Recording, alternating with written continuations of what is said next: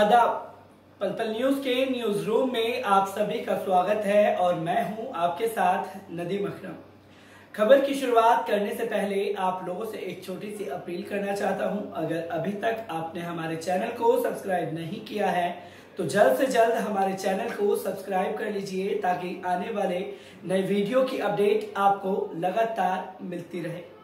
बढ़ते हैं खबर की तरफ़। देश में सांप्रदायिकता की हवा ऐसी चली है कि हर तरफ़ नफरत नफरत नफरत परोसी जा रही है और नफरत ही हमें दिखाई जा रही है।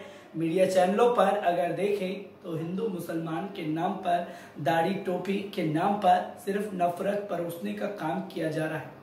और सदन में भी अब यही देखने को मिल रहा है, क्योंकि सदन में जिस तरीके के नारों का इस्तेमाल मुस्लिम सांसदों को चिढ़ाने के लिए किया गया वो अब सड़क तक पहुँच गया है और उसके कई उदाहरण अब हम लोगों के सामने आते ही जा रहे हैं, जिसे लेकर के हर तरफ़ चर्चा हो रही है और हर कोई इसके ऊपर बात करना चाहता है।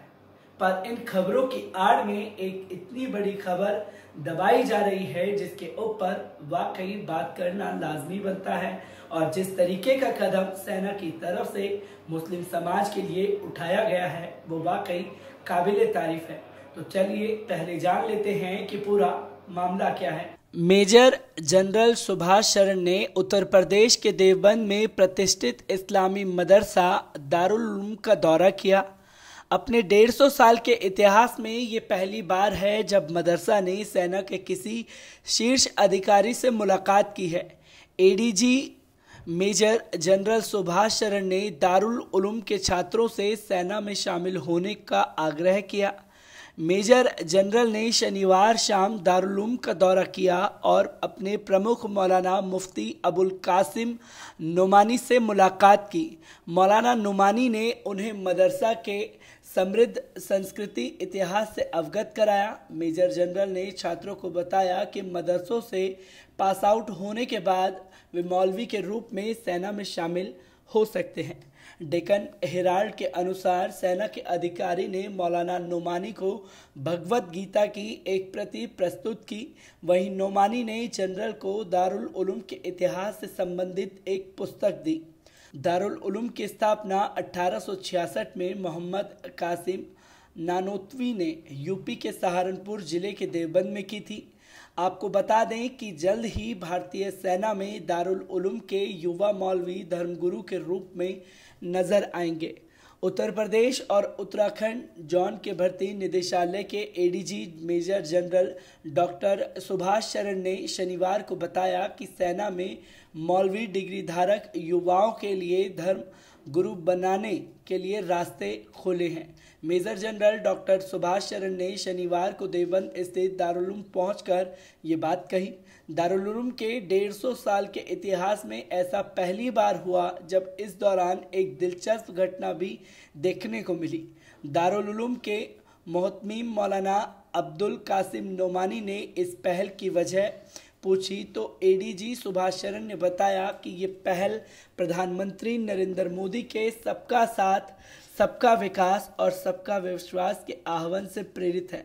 आपको बता दें कि सेना में पंडित, पुजारी, गोरखा पंडित, मौलवी सुन्नी और शिया पादरी, ग्रंथी और बौद्ध भिक्षु नियुक्त होते हैं। इनका काम बटालियन में स्थित धार्मिक स्थलों में पूजा या इबादत करना होता है। इसके लिए शास्त्री, मौलवी अथवा ज्ञानी की डिग्री होना अनिवार्य है। पादरी अभ्यर्थी के लिए स्थानीय विश्व के मान्यता प्राप्त होनी चाहिए और इसी तरह महायान भी संबंधित अथॉरिटी से मान्यता प्राप्त बौद्ध भिक्षु होने चाहिए।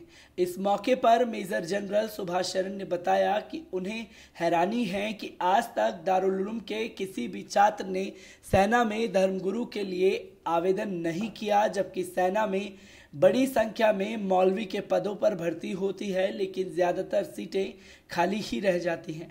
बकौल सुभाष शरण सेना भर्ती निदेशालय की ओर से दारुल को सभी महत्वपूर्ण दिशा निर्देश प्रदान किए जाएँगे, जिससे वह युवाओं को सेना में भर्ती के योग्य प्रशिक्षित कर सकें। इसके बाद नुमानी ने भी खुशी ज़ाहिर की।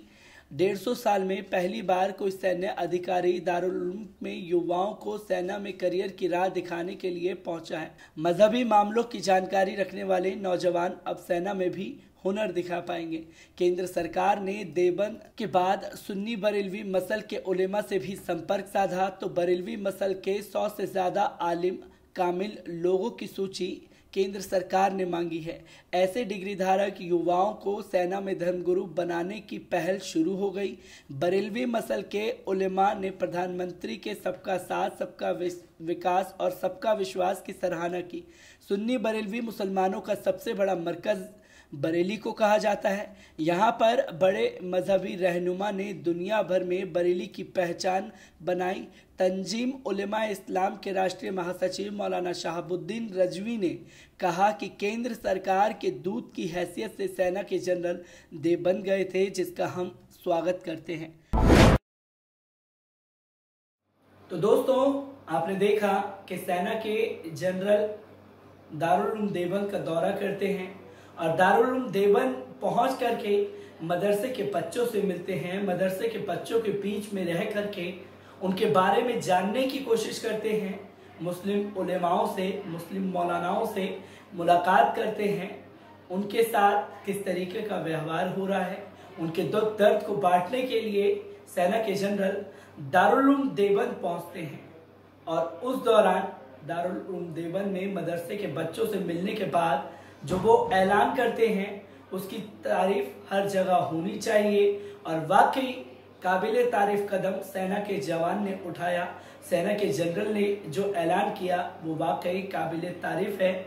और जो सरकार ने सेना के जवानों को ये निर्देश दिए, वो भी वाकई काबिल तारीफ़ है। पर हकीकत में, अगर ये ऐलान हुआ है तो वो ऐलान सेना के जवानों की तरफ़ से हुआ है।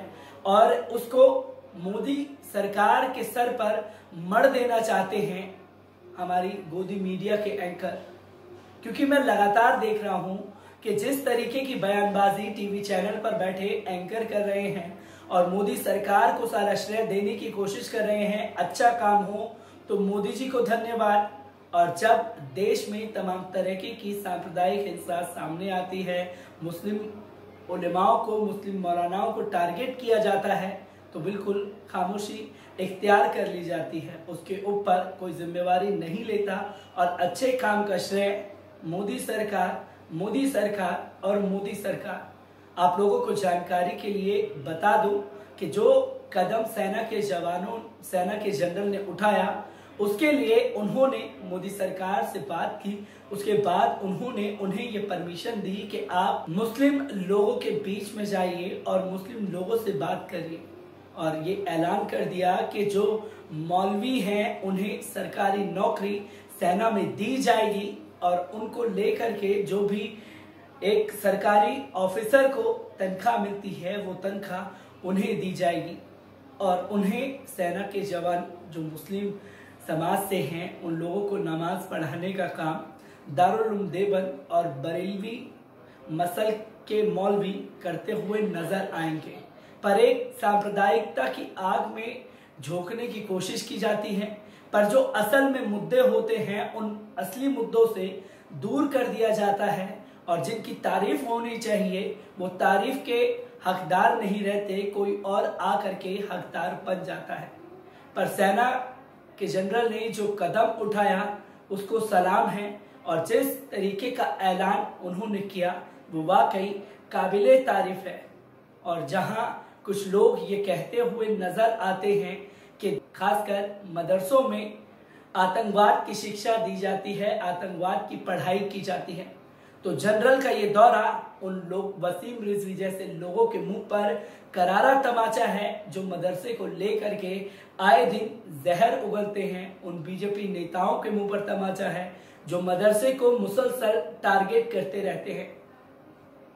तो जनरल के इस फैसले के बाद मुस्लिम समाज में खुशी का माहौल देखने को मिल रहा है और खुशी की लहर दौड़ पड़ी है। तो भले ही वो आपको हकीकत से रूबरू कराएँ या ना कराएँ, पर जहाँ सरकार और सेना की तारीफ़ करने की बात होगी तो हम उसे लेकर के अक्सर आप लोगों के सामने जुड़ते रहेंगे। आपको ये खबर कैसी लगी, कमेंट बॉक्स में आकर के अपनी राय ज़रूर दीजिएगा। शुक्रिया।